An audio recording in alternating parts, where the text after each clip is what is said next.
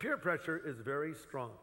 It's very easy to just sort of fall into line and do what everybody else does because no one wants to stand out and be thought of as a, freak or unusual or the odd man out or whatever.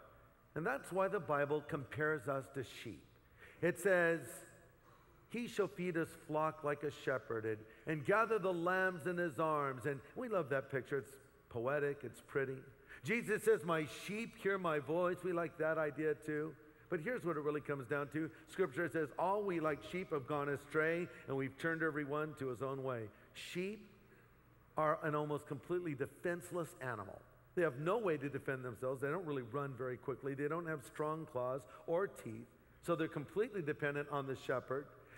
They're one of the dumbest animals on the face of the earth because they have a tendency to get together and do whatever the other sheep is doing. Case in point, I read an article in the newspaper a couple of years ago. This took place quite recently. It said in Istanbul, hundreds of sheep, uh, she- sheep rather, not sheep, hundred sheeps, hundreds of sheep jumped off a cliff. According to this article, first one sheep jumped off the cliff to its death. The stunned Turkish shepherds, according to this article, watched in amazement as 1,500 others followed. What? One sheep walks up, boom, dead. 1,500 other sheep. We're all to die today. Let's go, boys. Single line. It's not that bad. Let's go, you know. Stupid sheep. Oh, we're so like them.